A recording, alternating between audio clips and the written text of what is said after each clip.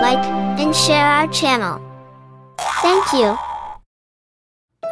प्यारे बच्चों ये कहानी है एक बादशाह और रियासत के कुछ लोगों की एक दफ़ा का ज़िक्र है एक पुरसकून रियासत में एक अक्लमंद बादशाह रहता था जो अपनी कौम को ज़िम्मेदारी का सबक देना चाहता था एक दिन उसने अपने मजदूरों को हुक्म दिया कि शहर के दरमियान बीचों बीच एक बड़ा तालाब खोदें जब तालाब तैयार हो गया तो बादशाह ने ऐलान किया, आज रात हर घर से एक शख्स दूध का एक गिलास लाकर तालाब में डाले।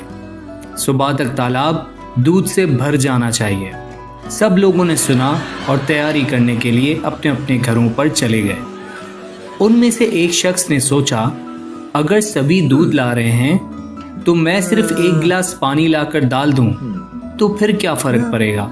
रात के अंधेरे में कोई देख भी नहीं पाएगा।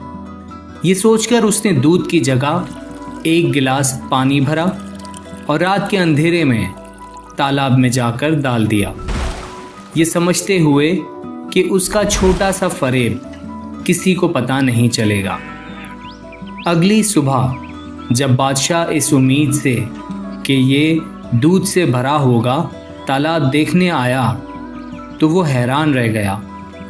बादशाह की हैरानी का कोई ठिकाना नहीं रहा। जब उसने देखा कि तालाब सिर्फ़ और सिर्फ़ पानी से भरा हुआ है, बादशाह समझ गया कि क्या हुआ है। रियासत का हर एक शख्स उस शख्स की तरह सोच रहा था। हर एक ने यह सोचा कि अगर वो पानी ले आए तो कोई फ़र्क नहीं पड़ेगा।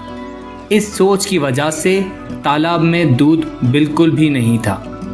बादशाह ने शहर वालों को जमा किया और समझाया, ये जो कुछ हुआ है, ये इसलिए हुआ है क्योंकि आप सबने सोचा कि कोई और दूध ले आएगा।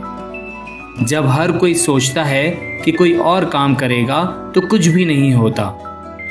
हमारी कम्युनिटी को तरक्की करने के लिए हर शख्स को अपनी ज़िम्मेदारी निभानी होगी। उस दिन के बाद रियासत के लोग समझ गए कि इंडिविजुअल ज़िम्मेदारी कितनी ज़रूरी है और उनके एक्शंस का अच्छाई पर क्या असर होता है। बादशाह का सबक सबको समझ आ गया। जब हर शख्स अपने गोल्स की तरफ़ मिलजुल कर काम करने लगा तो रियासत तरक्की करती गई।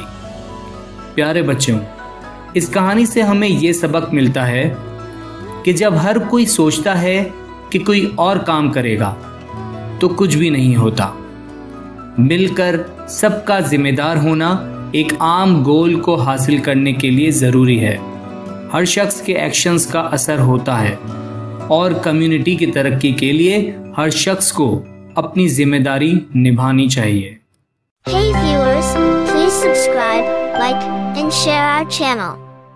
Thank you.